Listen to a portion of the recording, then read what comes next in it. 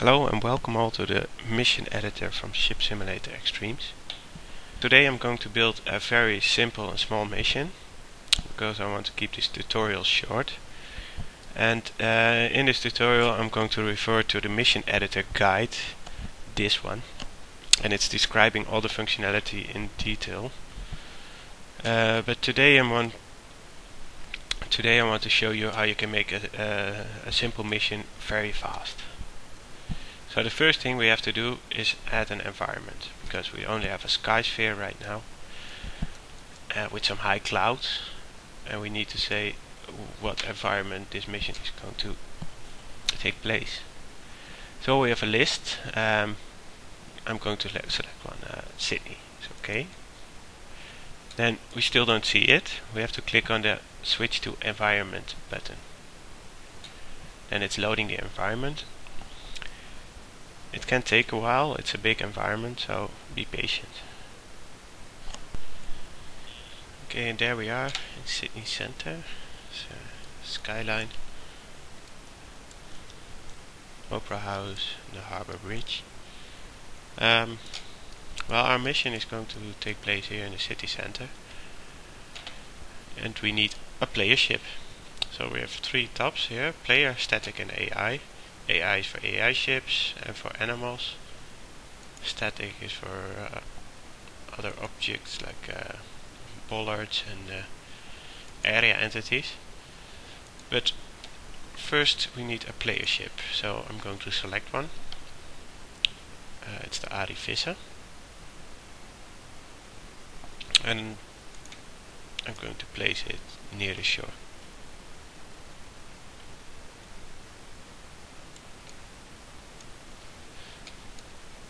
If your camera is not uh, focusing on the on the correct spot you can select the entity you just placed by double clicking on it and then move your mouse to the render scene and it's focusing on that entity. So it's uh, yeah waiting here. So this is the start of the mission one player ship so now we have a player ship in the scene and uh, we need a target. Where where do we want the player to go? Okay, let's say uh, sail past uh, Opera House. So I'm going to place an area entity, sphere area entity, like so, and um, placing it in front of the Opera House. Okay, now we have two entities in the scene. Entities in mission. Dus the Arie Visser, player ship, and the sphere area entity. Mission properties, or go to options, mission properties. Okay, let's give it a title. Mission editor. The basics. Creator. Wouter Swinnenhuis. And uh, difficulty is deckmate. It's going to be a very simple mission. Start ship. Oh, there's only one in the scene, so select Arie Visser. I'm going to make it in English. Damages there. A briefing. And, uh, well, This is a harbor mission and a cool action mission. Okay. So now we have the mission properties. Now we can save the mission. Choose which folder you like it. I'm going to save it here. Mission editor. The basics. Save. We need to give the user an objective to say, okay, sail to the opera house or sail to this area and uh, do something. So we're going to open the logic editor. You can open it by two ways uh, on the options menu or here in this toolbar there's also a logic editor button and as you see this is totally empty. Um, the first thing we need is a start signal. Here we have three different nodes. Start event and a trigger and a state. So start event. We need that one mission started. Uh, and what this one do is uh, when the mission is started in game it fires a signal. And the signal goes to all the nodes underneath. So I need a trigger. We can connect this start event to the first trigger. That is by hovering over the middle circle but what I'd rather do is use the shortcuts and they're all described in the mission editor guide. Okay I'm going to rename this one. Start event. After the start event it's uh, creating the first trigger and this is going to be my initialize. Init. And there's nothing in initialize yet but we probably need it uh, later on. So this is a good start. And after the initialize we need a new state and a trigger. So let's link it up already. Select the state new trigger. Okay the state needs no name. First trigger this is going to be rename it in uh, start objective 1 so this is a good uh, start for my mission. So in here in this uh, in this node in this trigger I want to start the first objective. Uh, go to the variable top and click on the add new one. Then you get this pop-up window we first have to select a variable type. There's a long list. Boolean entity float. Difficult names but they are described in the editor guide. Um, we need an objective. So create one. Name it objective 1 and give it a description. This is this description is what the player is going to see in game when we say start objective will pop up a window with this description. So um, the first one is uh, oh no go to the area. When I go to the opera house. And here you can give the user a more precise description uh, like um, more your ship and sail to the opera house. Dot.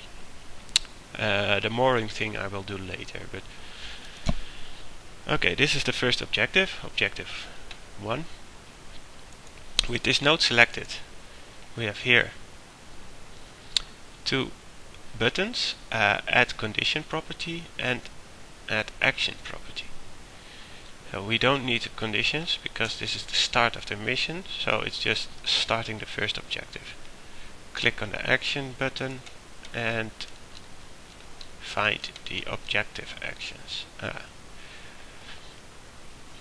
objective start, objective fill, clear, body, start. We need a start. Then we get an objective button. We have to select the right objective. I only made one, so objective 1. Okay. So this is the first logic of the mission. I'm going to save it and test the mission, see if it works. Go to the Opera House, it works. And when we click on the little white arrow, unmoor your ship and sail to the Opera House. Stop. Stop testing. Sail to the Opera House. Now we need some logic to check if the player is actually there. So I'm going to place a state and a trigger and link it up again. I'm going to rename the state and rename this trigger. This trigger will be clear objective 1. And when is the mission cleared? If this player ship, the Arie Visser, is in this sphere area entity. So we Okay, now we want to want to check if the Arie Visser, the player ship, is in this area. Because that is the objective. Sail to that area and if it's there, the objective is cleared. So we select the right node to clear objective 1 and add a condition. The condition is area contains entity. It's the the top condition in this list. Uh, there are loads of conditions. Uh, well, we're only using one right now, but uh, they're all described in the uh, in the document from Michael Boost, the mission editor guide. Okay, area contains entity. Now select entity A, that's the player ship. Select from scene. You can click on it in the 3D scene or click it on the entities in mission list.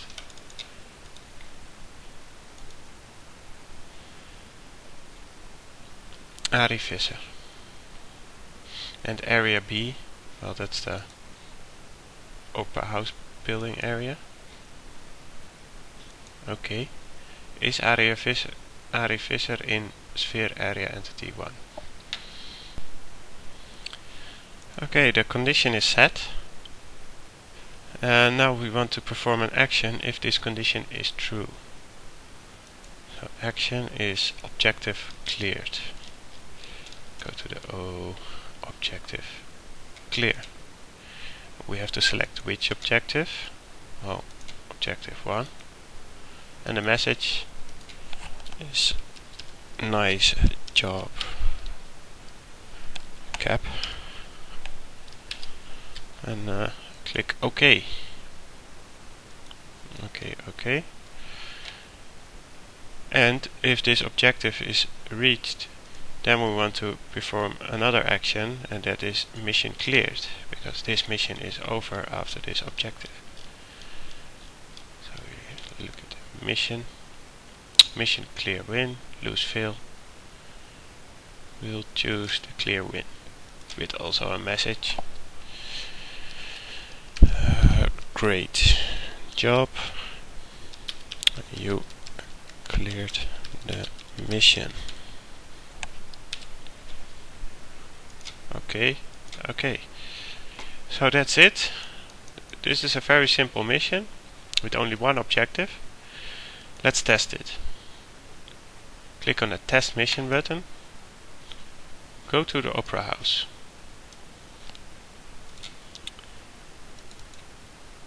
And right now I can't sail in the mission editor so I'll have to drag it into the area over here. Objective cleared. Nice job so this is a very simple mission. It only took me 13 seconds to uh, to reach the, the, objective. And this is also um, a small test. This is a mission editor test. If you really want to make a good mission, you have to test it in the mission editor and in the game itself.